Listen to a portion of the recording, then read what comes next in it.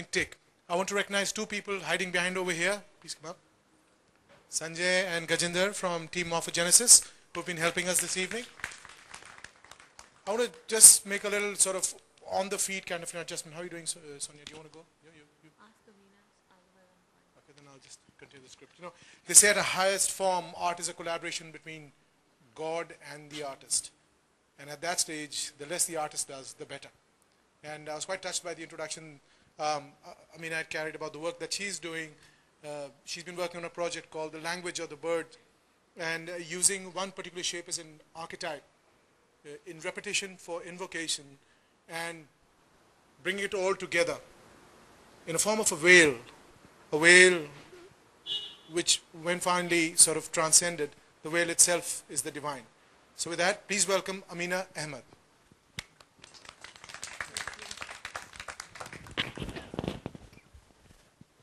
Good evening, everyone.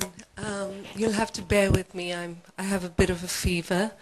Um, thank you all for having me here. Um, thank you to Madan and all the organizers. Um, the work I have here, actually, um, I don't have uh, the final work of the language of the birds. It was presented at uh, at the summit. But what I'm going to do is just begin with uh, how my process, where I began and where I arrived at uh, the language of the birds and making pattern um, as part of my practice.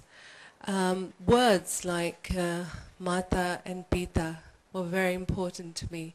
And having learned that mata means measurement and pita is pattern, um, really sort of injected me with something that uh, gave me something to run with, and I thought, this is fantastic. It's, you know, now I know why I want to do this. Um, because without without pattern and measurement, I can't, you know, I can't make that. I can't go from one point to the next. And this is how I begin uh, began with practicing sacred geometry.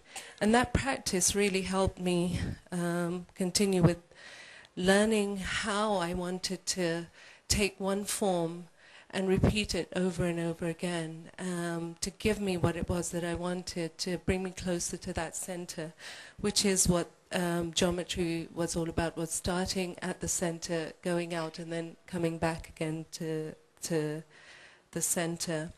Um, mark making, um, using the same shapes over and over again. Now this is this isn't um, the, the language of the birds, but it still references uh, mark making and the importance of my mark making in my work. Um, and repeating the same mark over and over again. These these drawings are uh, drawings of, of roots and weeds and trees, and uh, it's the it's the sound that I'm actually drawing. And again, um, I'm using using a method of uh, drawing where I'm I'm again repeating the same marks over and over again, and. This is actually a funny story because uh, I was I was gardening with the children and I kept saying, you know, can you hear the sounds that these you know weeds are making? And they said, no, no, we can't hear them. And I was so, uh, you know, I I just couldn't. Um, understand why I was having this reaction until I sat down in front of paper and the most immediate uh, material I could find was uh, charcoal pencil, and I started drawing. And I just continued, and I, I haven't been able to stop drawing roots and weeds and whatever I can find. And uh, when I when I tell someone that I can actually hear these sounds, when I'm really focusing and concentrating, and I really believe that everyone can do that if uh, you know, if they do listen. Um, but I had to express myself in the form that I knew best, and that was drawing or mark making. I'm going to just quietly go through some of these. And here's the project again, um, really the beginning of the language of the birds. And I've taken this simple shape and the idea of veiling um, to build this project um, and we return back to, you know, a sort of a slide that's in the wrong place, but doesn't matter. Um, still repeating itself. Um, this was the language of the birds. Now, I've taken paper as a material to use for making these marks in the same way that I was using charcoal. Um, I, I didn't want to be limited to just one material here. Um, I just want I wanted to carry on with the idea of mark making. Now this is this is using the idea of the veil, but it, it's the reverse of that the one that you were looking at. So you're looking at it from the front and from the other side when light is um, is shone through it. And I, I made light boxes to to give the idea of um, the veil, the layers behind it, and light coming through. So here are some more of them. And again here I'm, I'm using the idea of layering and again using the same shape um, as you can see to create those layers. Um, the installation, um, this is actually in my studio and a prototype for the installation. It's using the same shape to to give give an idea of that journey. Um, uh, actually, I didn't tell you that uh, this the the story is by the 12th century poet um, Fariduddin Attar, and sometimes it's called the language of the birds, sometimes it's called the conference of the birds, or Mantiq-ut-Tair in in Persian. And um, the hoopoe was the the sheikh or the leader that uh, invited everyone to go on this journey with him. And many of the and the, birds are used uh, instead of humans, which was, uh, I think, a lot more fun. But uh, it also helped him with the story that he was writing. Now, he, he, he uses language very, very beautifully and poetically and cleverly. Um, the Simurgh is representative of the divine. And in Farsi, Simurgh and Simurg is 30 birds. So at the end of the journey, Simurgh faced Simurg. Um, the 30 birds are facing the divine and realize that the divine was always within them at the end of this journey, that they, uh, they didn't need to make that physical journey in order to arrive and see the divine. This is a closer shot of, uh, of that um, installation using, using the shape to give give the impression of the the birds or the symbol of the birds.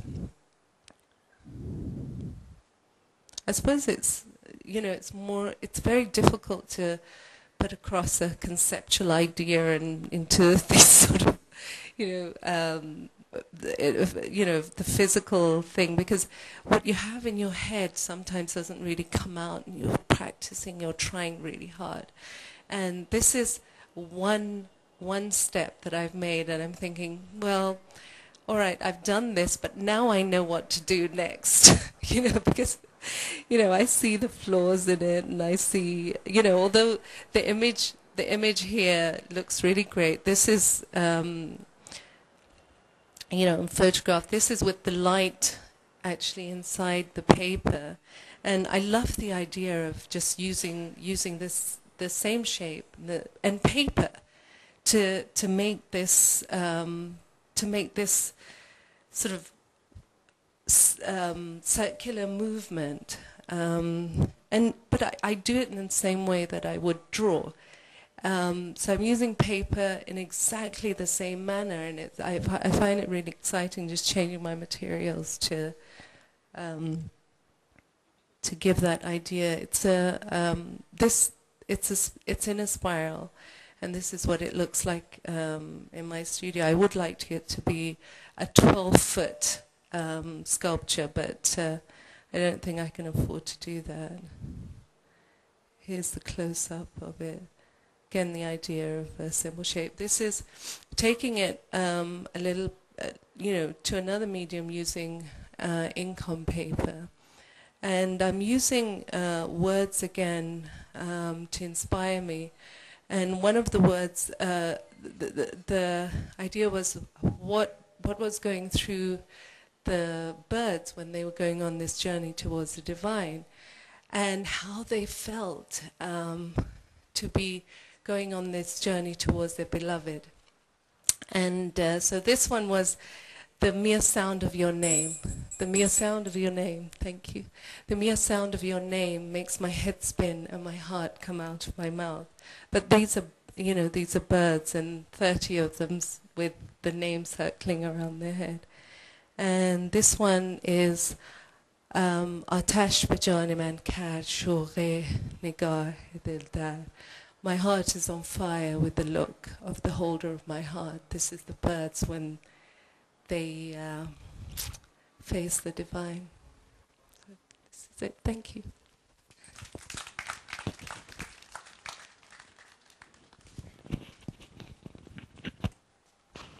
Thanks, Amina. Questions on the floor?